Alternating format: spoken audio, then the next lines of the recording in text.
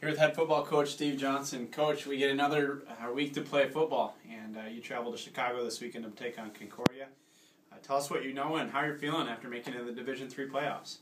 Uh, fantastic, you know. I mean, just the greatest uh, deal on Sunday. We had a uh, we had kind of a party in CC three thirteen or CC one twenty five, which is a room that we use a lot, and so the guys kind of ganged up in there, and it's a theater type room, and um, watched it. We only had to wait for six names, and, and we got named, and the guys went crazy, and uh, great fun. And uh, you know, coming off a, a, a, game on Saturday against St. Thomas, which is or St. John's, which is a just a big rivalry for us, and a, and a really great game. We really respect them, and they us, and uh, we just had some uh, great battles and, and great things. So you know, to end on that win was, was a big deal, and then uh, um, to be able to go on to the playoffs is more than we could have asked for, and, and uh, so we're very excited.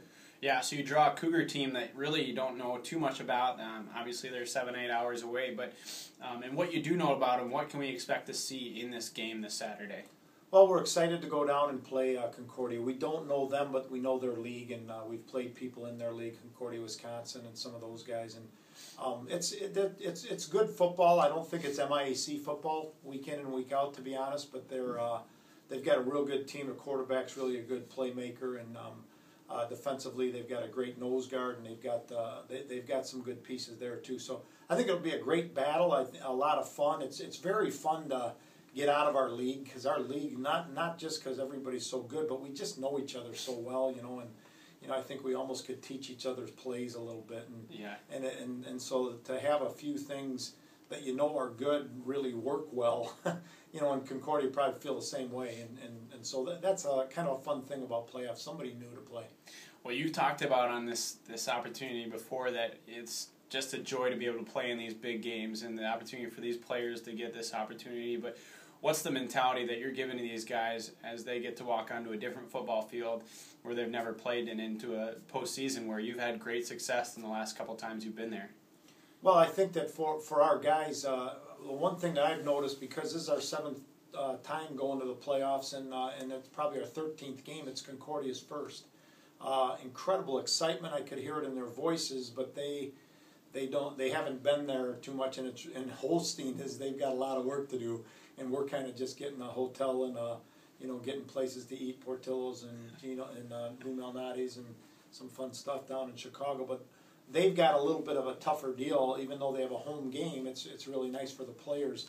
Uh, they've got some work to do this week that, that can kind of take you out of that. But the atmosphere of playoffs, the the fact that you made it in is is just terrific.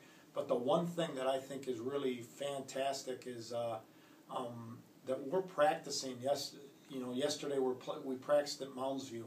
Uh, they're kind enough to let us use their field and the lights. Yep. So you know we don't have enough daylight to practice here, uh, but we're going to be on turf, and, and we we're getting our young guys, even guys that won't even traffic, travel, are getting an extra week or two or three or four right. of of practice and feel and all those different things. And I just I just think it's invaluable, and you know other teams are kind of you know, going on going on to their other things, trying to catch up on academics and stuff that we'll have to do a little later. Right.